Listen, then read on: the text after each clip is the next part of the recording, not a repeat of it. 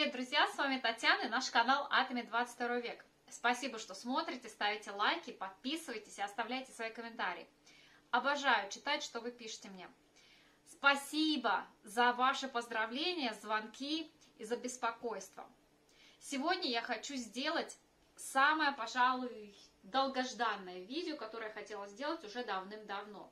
Я обожаю смотреть на видео блогеров, когда они делают до и после, как это все изменялось. Сегодня я рискнула, предстала перед вами в первозданном виде, только что из ванны, еще с мокрой головой, и собираюсь нанести макияж, пользуясь продукцией Atomy, прямо перед вами. Надеюсь, что мне удастся смонтировать видео, потому что, как вы знаете, обычно все мои, мои видео абсолютно без монтажа, идут вживую и таким образом загружаются вживую. Но посмотрим сегодня, как получится потому что это может занять какое-то время. Хочу вам признаться, что в этом году, э, так как свадьба была, э, делали разные эксперименты, я нанимала профессионального визажиста, который делал мне профессиональный мейкап для свадьбы, для фотосессии. Конечно, она пользовалась совсем другими средствами, оставила мне рекомендации, пользуясь которыми я пошла в магазин, накупила кучу дорогущих тональников, э, других продуктов – и практически все вернула. Оставила один консилер, это то, что наносится на веко и под веком, потому что, насколько я знаю, в Атоме сейчас нет еще пока такого продукта. А остальное, несмотря на свою дороговизну, несмотря на то, что это очень популярные, многолетние проверенные продукты, совершенно мне не подошли. Избаловала меня компания Атоми. Итак, первое, что начнем, это основа под макияж. А, смотрите, что я делаю. Я использую Healthy Glow Base. Это основа под макияж на основе перламутра, розовой воды. Я смешиваю ее с BB-кремом обычно. И почему я к вам с мокрой головой? Потому что, чтобы волосы не лезли, я пользуюсь этим случаем, то, что полотенце на голове, хочу все это сделать. Итак, я наношу прямо на руку себе основу под макияж, и смешиваю ее с кремом, с BB кремом, ну, практически 50 на 50. Перемешиваю их прямо на руке. И я воспользуюсь зеркалом от Cushion Foundation от Atomy.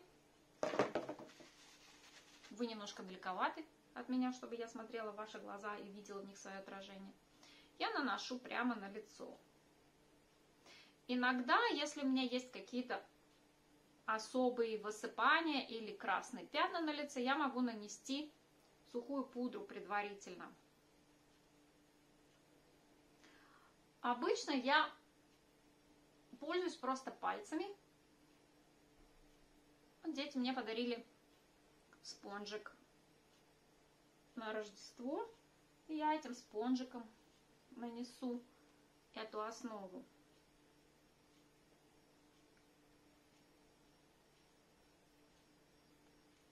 У него есть тонкая сторона,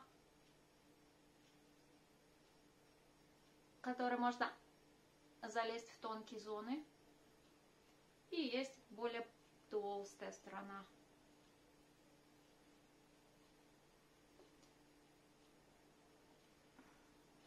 Иногда биби-крема может быть достаточно для повседневного, ежедневного макияжа, но если вы делаете вечерний макияж, поверх него вы можете нанести еще пудру, если вам нравится пудра, или вы можете нанести жидкую пудру, сухую или жидкую пудру, чтобы закрепить таким образом ваш макияж. Итак, мы нанесли основу.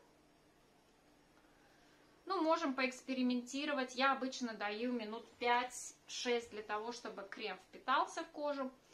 Э, почему мне нравится смешивать и то, и другое? Потому что основа под макияж на перламутре, она очень классная. Если вы не видели мое видео, э, обзор этого продукта, я приглашаю вас пойти в мой плейлист, в список видео, который называется «Обзор продукции Атоми» и посмотреть там более подробно о том, как этот крем умудряется из воздуха привлекать влагу и подпитывать нашу кожу каждый день.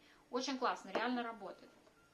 Ну и, соответственно, BB, он а, немножко под нашу собственную кожу подстраивается. Таким образом, один тон подходит абсолютно всем. Я уже проверяла на очень многих и темнокожих моих друзьях, и наоборот, очень светлокожих. Всем подходит. И э, классно еще то, что он борется с вредным воздействием лучей солнечных. Но если вам нужен более серьезный подход и тон более сильный, например, как для видео, потому что камера нам умудряется малейшие недостатки нашей кожи вылавливать, то вы можете, конечно, еще дополнительно воспользоваться, а, например, пудрой жидкой.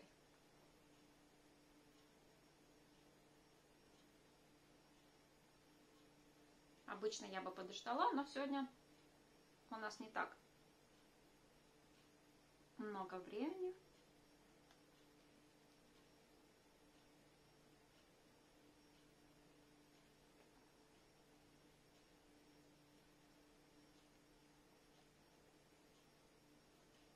Вот так она хорошо ложится. Тоже обладает солнцезащитными свойствами. Как и BB-крем. Достаточно хороший спектр защиты. Насколько я помню, 50 плюс SPF, да, EPA плюс плюс плюс. Достаточно хорошая защита. Сделаем чистый эксперимент. Я не буду использовать никакой консилер под глазами, чтобы не привлекать другую продукцию.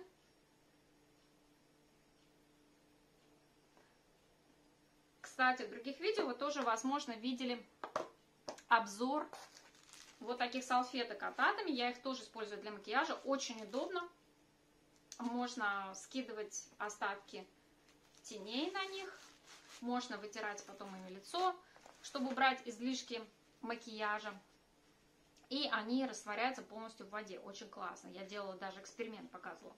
Рекомендую посмотреть это видео. Они, в общем-то, и для гигиены подходят, и можете как туалетную бумагу использовать, если где-то пошли и нужно, чтобы с собой было. И вот так вот для макияжа я тоже использую. А следующее я займусь глазами, дам тональному крему, всему этому немножко осесть на коже и займусь глазами. Я использую сегодня и тени,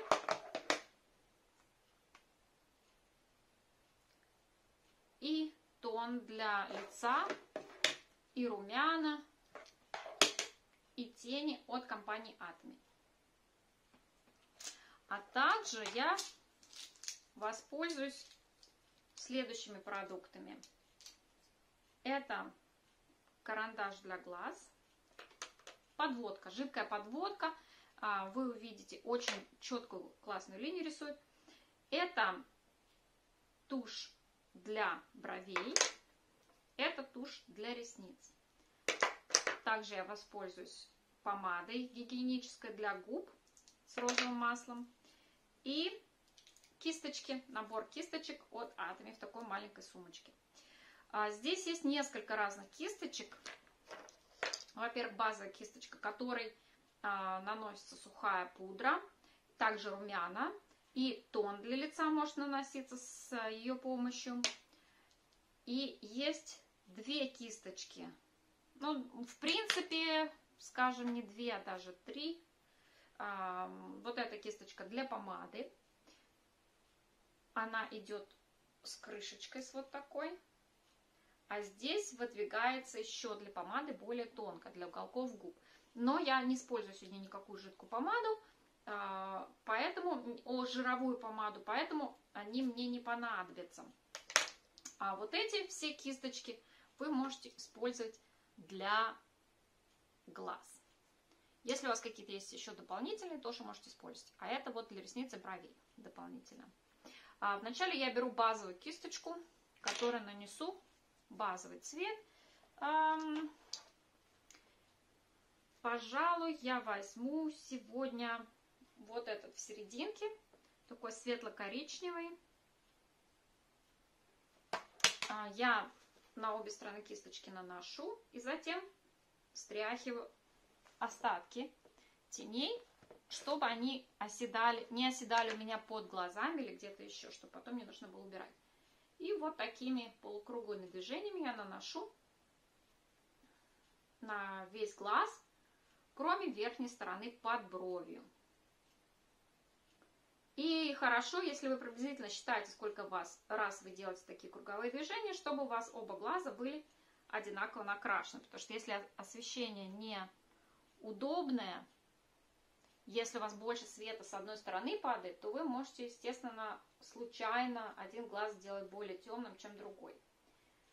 Бывает чаще, чем хотелось бы такая ситуация. Окей. А, нанесли базовый цвет. Теперь я хочу нанести на вот сгиб глаза а, более темный цвет, но не самый темный. Здесь есть в этой палитре более темный коричневый, я нанесу его в конце. Нанесу вот этот, немножко на медь похоже, наверное, медный такой. Посмотрим, что получится. И опять же стряхиваю постукиванием по кисточке все, что может отвалиться. И начинаю с, прямо с уголка глаза. Вот так. Делаю 5 от внешнего к внутреннему и обратно. И затем наношу немножко наверх брови, чтобы приподнять визуально глаз. И остаток от внешнего к внутреннему углу на кусочек глаза внизу. Окей, получилась вот такая штука. И то же самое делаем с вторым глазом. Опять же, приблизительно считаем, сколько раз мы сделали.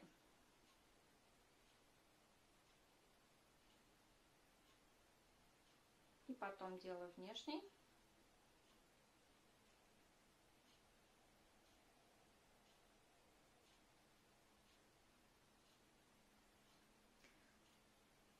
Вот. Не знаю, как выглядит у вас.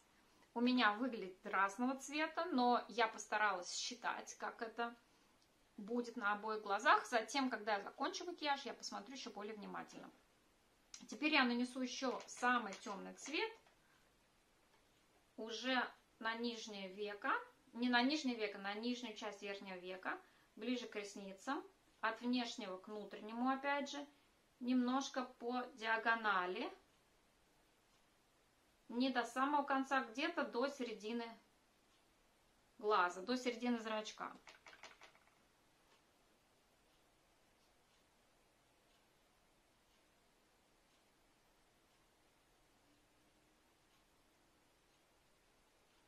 Окей.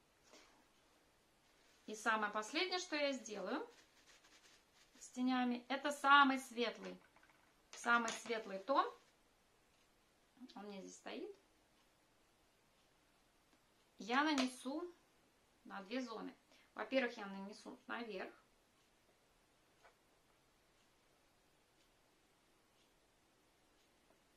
Затем я нанесу на внутреннюю часть века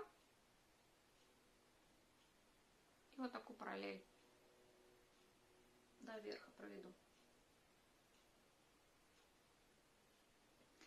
Окей. Проверю сейчас с помощью этой салфеточки, все ли я умудрилась стряхнуть или что-то все-таки упало вниз.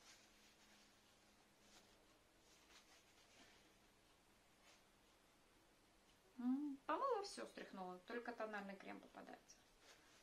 Окей. Ничего, неплохо. Поярче глазки стали.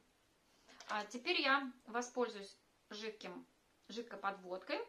Она сделана практически в виде тонкого маркера.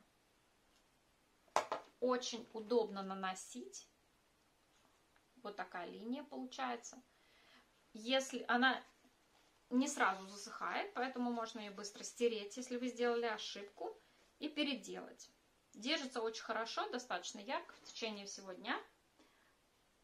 Линия очень тонкая, поэтому вы можете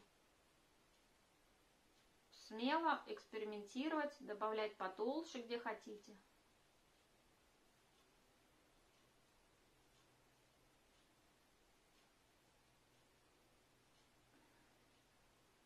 Вот такую стрелочку я себе делаю, чтобы она визуально вот чуть-чуть вверх поднималась. И попробую сделать такую же на втором глазу, хотя это очень сложно, потому что обычно у нас глаза разные. Такой прям у меня вызов себе.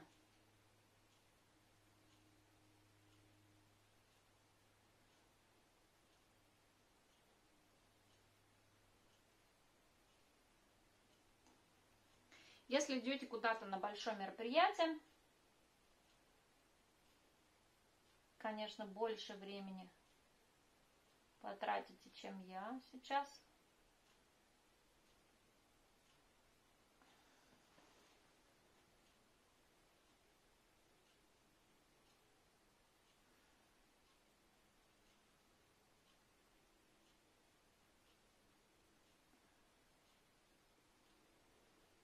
Вот как-то так. Окей. Следующее, что мы сделаем, это немножко подрисуем бровки. Сейчас очень модно брови, вы знаете, что делают и наполнение внутри брови, и татуаж делают брови. Я просто воспользуюсь подводкой для бровей от Атоми. Она создает такой эффект брови на руке. Совсем немножко.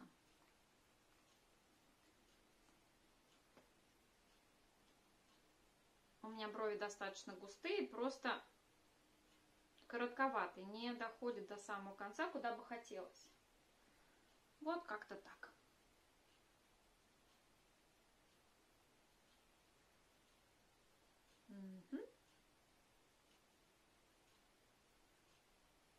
Хорошо. Так, посмотрим, что у нас с тональником.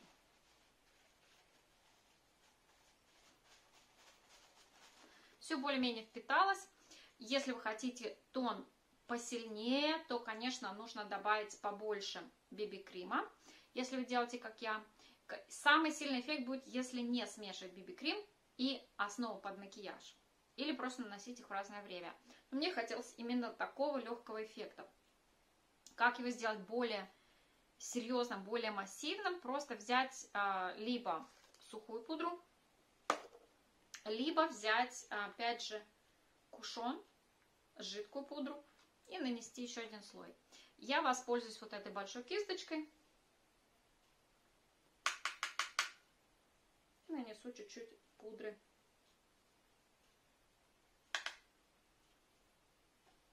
Сухой.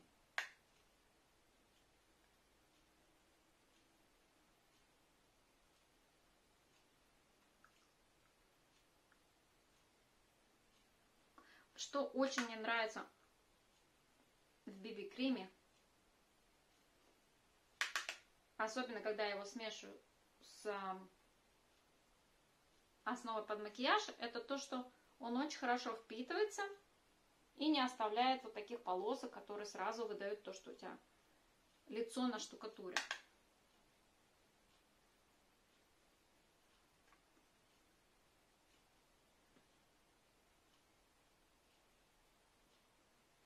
В идеале, конечно, бы я бы нанесла еще консилер. Но чистота эксперимента есть чистота эксперимента. Окей. А, что дальше? Дальше я возьму, э, ресницы я доделаю попозже. Сейчас я добавлю немножко тени на лицо с помощью вот такого контура, на, набора для контура. Вначале я воспользуюсь блеском. И затем более темный. Чтобы лицо у нас было более естественным. Скрашу чуть-чуть квадратность лица у себя. И затем я немножко еще этим воспользуюсь после того, как нанесу румяном. Румяна, пожалуй, подойдут более коричневые, чем розовые. Попробую их нанести.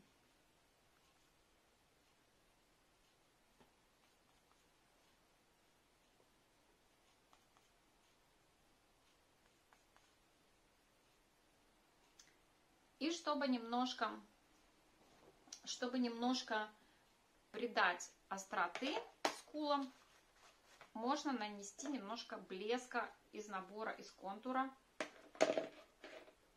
под румянами.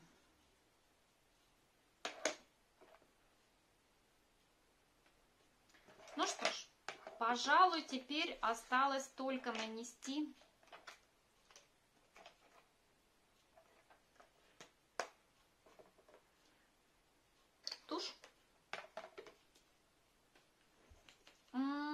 Иногда я делаю вот так. Один из трюков, который я подсмотрела в передаче. Потому что согнув кисточку таким образом, намного проще наносить. И последнее, что мы сделаем, это нанесем гигиеническую помаду. Я использую именно эту помаду, потому что у меня не очень крупные губы, я не люблю их подчеркивать. А, мне нравится больше подчеркивать глаза.